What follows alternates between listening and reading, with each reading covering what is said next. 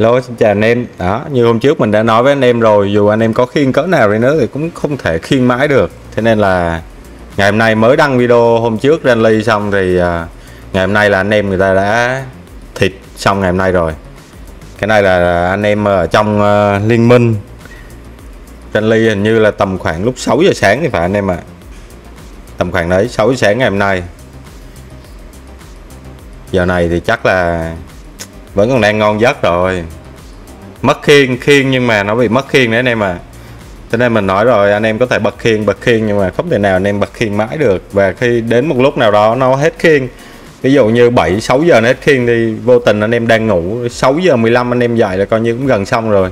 Đó cho nên là cái game này một mình thì không thể chống được cả thế giới này mà chơi uh, tập thể thì nó vui chơi cá nhân thì uh, À, nó hơi buồn. Đấy kiểu thế. Nhiều anh em bảo là mình thích sao thì mình chơi kiểu đấy thì đúng rồi. Cái chuyện của anh em anh em thích chơi kiểu gì thì anh em chơi. Còn à, tập thể của người ta người ta thích chơi kiểu gì thì là người ta chơi. Đó. À, cái trường hợp này một ví dụ cho anh em cho nó dễ hiểu. Người chơi này à, cứ ờ, bỏ game xong rồi lại chơi kiểu như hai ba tháng thì ọp một lần ọp xong rồi lại chơi lại. Mà mỗi lần chơi lại là kiểu gì nó cũng chung một cái sự kiện event 20 chọc anh em ạ. À. thế là sẵn tiện nó hút luôn 20 chọc xong rồi à, chơi được vài hôm lại nghỉ game. Thì anh thì kênh Dom cũng nói đi nói rất là nhiều lần rồi chứ không phải một lần anh em ạ. Nhưng mà vẫn cứ như vậy. Không thể không thể cứu vãn được anh em ạ. Bây giờ mà mình à, mình không chơi nữa thì à, đừng có đua event 20 chọc thì cũng đâu ai nói gì đâu anh em. Vẫn cho vào liên minh đánh KVK hit quạt thử vân vân. Thậm chí không có đặt một cái KPI gì luôn thế mà vẫn vẫn cứ thể là cứ có 20 chọc với event tăng sức mạnh là trên T5 lấy 20 chọc mấy lần rồi anh em ạ?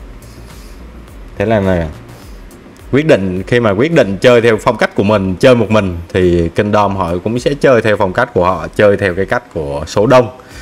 Thế nên mình mà mình nói với anh em rồi anh em có thể khiên mãi khiên mãi cũng được. Nhưng mà đến một lúc nào đó thì anh em sẽ mất khiên à, cả Kingdom đây là mình đang ở ship D nhé anh em đừng nói ship A B ship A thì nó cao nó ạc ti nó càng khủng nữa ở đây là chỉ xích D thôi, nhưng mà chỉ cần hạ khiên là anh em thấy lên đường ngay. Hạ khiên là lên đường.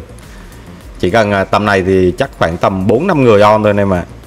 Lúc sau thì đông hơn, bây giờ thì tầm khoảng 4 năm người on, nhưng mà mỗi người thì có từ 2 đến 3 con ạc farm trở lên. Đấy là nó đủ full rally rồi. Ạc farm thì TB cực kỳ nhiều mà bút tăng quân cũng cực kỳ nhiều. Cần thiết cái bật luôn, cái bút tăng quân rally cho nó máu này mà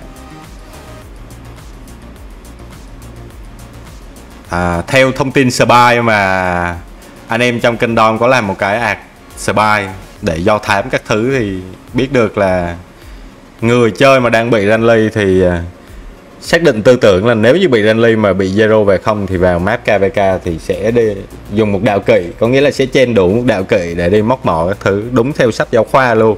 Đấy nhưng mà ở D thì à, nếu mà cái giải pháp tồi tệ lắm thì vẫn farm ở trong Kingdom, không vào map KVK bỏ Zone 4 còn Zone 4 đi farm game, mình farm phun đảo, nó hơi mất thời gian tí thôi anh em ạ. À. nhưng mà chủ yếu là anh em có chơi được bao lâu thôi.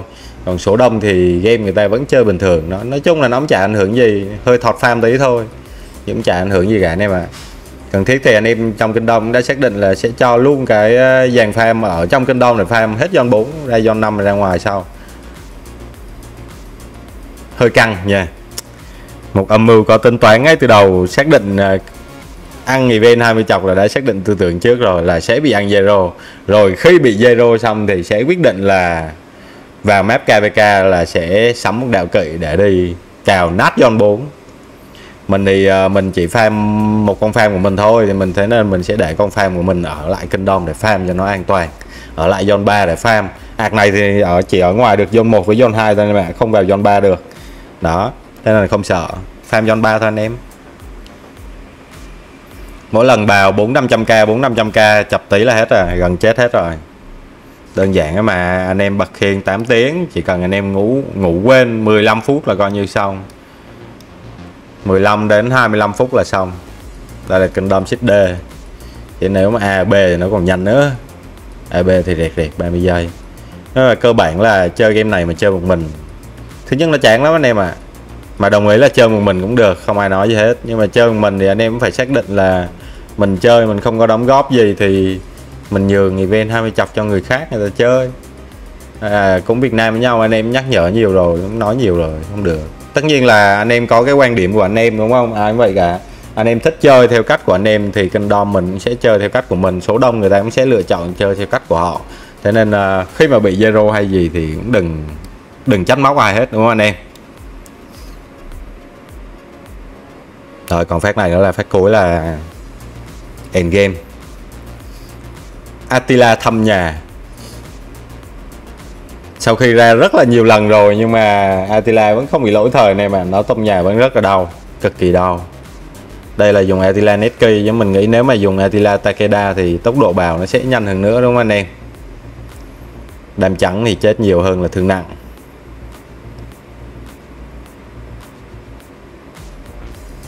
Thủ ờ, CM Sala.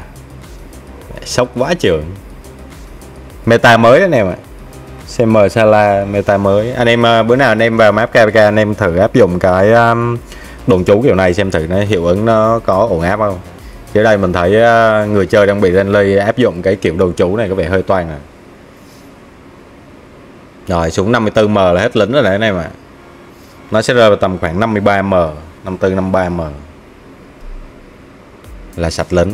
Tầm này còn lính viện thôi mà map à, trong map à, trong map thường ấy, thì à, viện nó chỉ có khoảng ở map thường thì mình nhớ là nó sẽ rơi vào tầm khoảng 300 300 viện vậy thì anh em sẽ giữ được 300 ví dụ bị zero map KPK thì anh em còn có cơ hội để trả lại lính, chứ còn mà zero map thường là cái xác suất là chết hết. Ok, như vậy là cái video thì anh em cũng ranh ly, xong rồi anh em người ta cũng gửi lại cho mình là một cái video để chia sẻ đối với những anh em đặc biệt là những anh em mới chơi khi mà anh em xác định mà chơi một mình ấy thì anh em sẽ phải chống cả thế giới. Rất là khó đúng không anh em? Ok video đây là hết rồi. À, hẹn gặp anh em những video lần sau nhé.